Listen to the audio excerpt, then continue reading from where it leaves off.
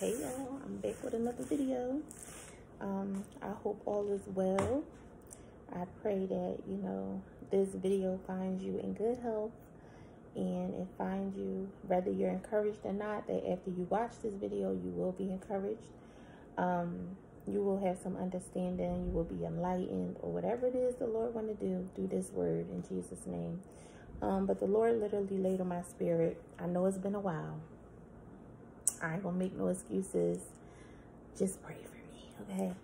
Um, but the Lord uh literally laid in my spirit um about the difference between influence and um motivation. And so just to jump right into it, I wanna get into the meaning of I believe we're gonna go Okay, so I'll go motivation first. So the meaning of motivation, the definition is the act of the act or process of giving someone a reason for doing something. So when you think about motivation, I don't know what comes to your mind, but what came to my mind was literally like um a motivated a motive a motivated a motivating a motivational speaker like literally someone that like stands and just like inspires or motivate people to do something or you know give them a reason why talks them into it kind of thing right? Um and as a believer the lord don't want us to be motivational motivational speakers. He want us to be he want us to have influence over people. And and the difference would be a motivational speaker, like I said, um, is the act or process of giving someone the reason for doing something. So we, it's like you giving somebody the scriptures. You're telling them like, hey, um, the Bible says this, right? Or you should do this because if you don't do this, this may happen. Or, you know, God loves you so much. He wants you to have a good life. He wants you to walk in the way of godliness, walk in the way of holiness we can tell people those things all day long, but even as a believer, we're not called to motivate people to do the right thing. We're called to show them what the right thing looks like as we live it out ourselves. And that's why the definition of influence, check this out, it says um, the capacity to have an effect on the character, development, or behavior of someone or something or the effect itself.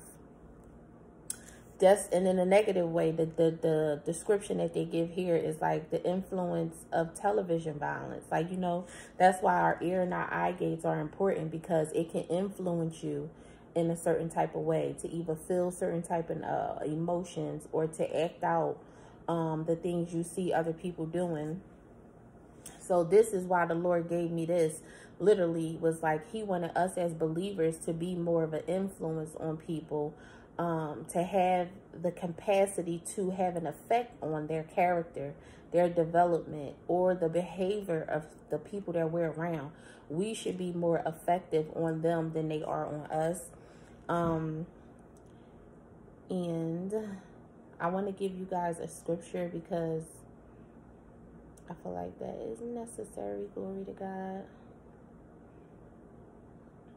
And this is and just to give y'all exactly why the lord gave me this as well was because he don't want us to be hearers of the word only because somebody that is motivating you they can tell you what the bible says. They can quote the bible verbatim. They can tell you um, what the scripture says and you know all those kind of things. But those that are actually following the word of god you will see fruit in their life you will have their their influence will impact people um, it will directly impact people, even those that are in their household living with them, their family members, outside of their own household. It will um, have effect on those that, you know, even on their social media um, platforms and stuff like that.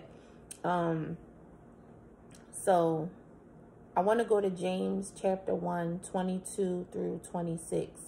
And it says, um, in the Bible says, But be doers of the word and not hearers only, deceiving yourselves.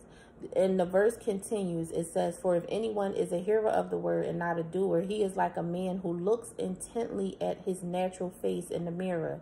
For he looks at himself and goes away at and at once he forgets what he's like.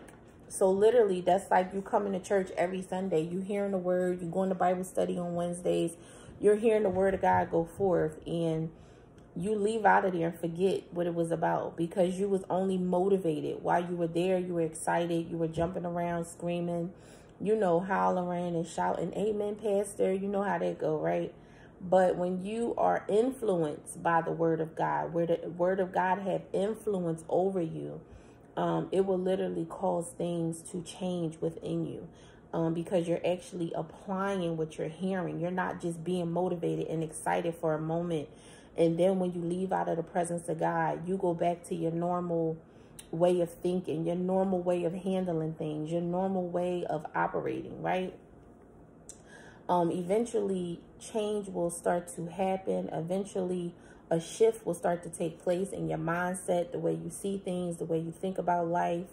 Um, it will it will cause you to look upon yourself, you know, to check your heart, check your character, to check to see if you're operating the way the Bible tells you, the way God is telling us that we should operate. And no, we know we're not going to get everything right, but for the most part, as a believer, you your main desire is to seek after pleasing the Lord, right? And doing what pleases him. And so you can see me on that right there. But doing what uh, pleases him is what our main desire is in all reality. So we want to stay focused on that. We want to keep our mind stayed on that. That's the, our initial purpose and reasoning for um, following Christ is to please him, is to serve him, um, is to lay down our life and pick up um, the cross to follow God. And so we don't want to just sit in church and become a person that warms up a seat in a pew. Or if you go to online ministry, you know, you uh, go on Zooms or you you stream your church services online.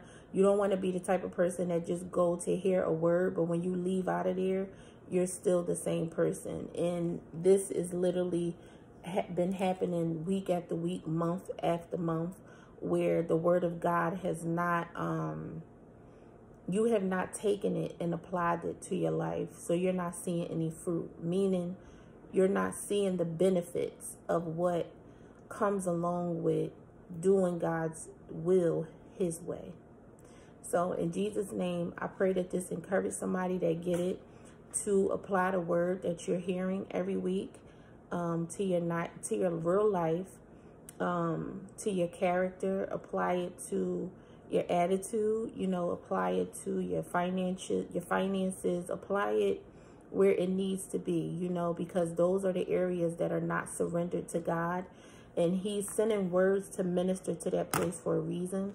Um, not because you're um, being judged or put down or condemned is basically because the Lord wants you to submit those areas to him so you can start to see fruit.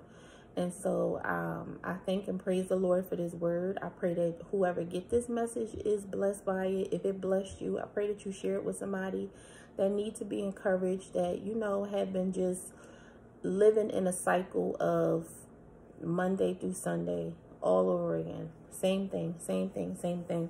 Um, so I pray that you are able to be a blessing to somebody else by sending them this word to encourage them to step out of that repeated cycle so they can start to see fruit from God and um, obedience is where fruit comes from. In Jesus' name, bye.